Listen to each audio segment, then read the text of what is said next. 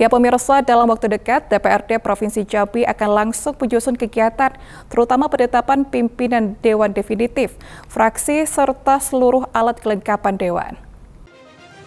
Sebanyak 55 anggota DPRD Provinsi Jambi masa jabatan 2024 hingga 2029 resmi dilantik Senin 9 September lalu di mana pimpinan sementara yaitu M. Hafiz selaku Ketua DPRD dan Mazlan Wakil Ketua DPRD sementara.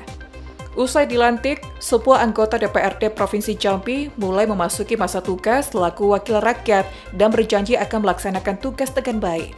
Untuk itu, di dalam waktu dekat ini, Dewan akan langsung melaksanakan beberapa kegiatan yang sangat mendesak, di antaranya penyusunan peraturan tata tertib, pembentukan susunan fraksi dan menentukan susunan pimpinan definitif, serta susunan alat kelengkapan Dewan AKD di Provinsi Jambi.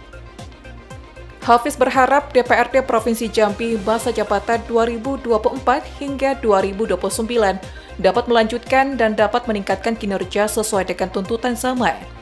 DPRD Provinsi Jambi masa jabatan 2024 hingga 2029 katanya akan berusaha menampilkan kinerja terbaik dan profesional. Setiap dewan dituntut kesiapan.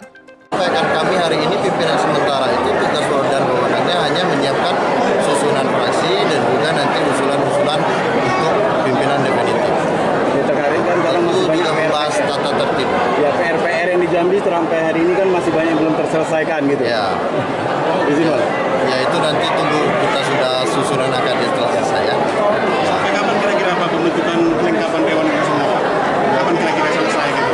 Ya harapan kita semuanya dapat selesai dengan cepat ya nanti. Karena juga menunggu nanti kita akan menyurati uh, parpol yang hari ini menjadi pemenang untuk pimpinan. Kita akan surati ya harapannya kalau parpol tersebut segera mengirimkan usulan namanya secara definitif, maka dalam waktu singkat saya rasa sudah bisa